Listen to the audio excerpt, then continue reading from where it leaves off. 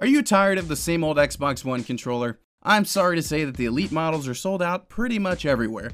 It'll be tough to get your hands on the shiny new controllers. Pretty ironic if you ask me. The Xbox One Elite controller costs 150 bucks, but retailers like Amazon, Best Buy, GameStop, Target, and even Microsoft itself are completely sold out.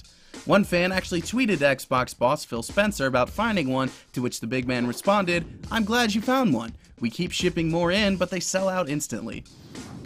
But don't give up just yet. You can always pick up the Xbox One Elite model, which includes the special controller and a sweet 1TB hard drive. That'll set you back 450 bucks, but it's a good deal if you haven't bought into Microsoft's current console generation yet. Just do it before December 26th. It goes back up to 500 after Christmas. For more on the best-selling controller, you can check out our first look and hands-on impressions, and you can stick around GameSpot for all your Xbox One needs. This is Tony, signing out.